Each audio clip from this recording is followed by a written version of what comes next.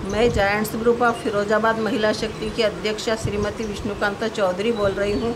मैं सच क्या है? एस के एच न्यूज़ को 30 वर्ष पूर्ण होने पर महिला शक्ति परिवार की ओर से हार्दिक शुभकामनाएँ देती हूँ। एस के एच न्यूज़ की पूरी टीम को हार्दिक शुभकामनाएँ देती हूँ और ये सच क्या है? हर न्यूज़ पर एस के एच न्यूज़ दिखाता है।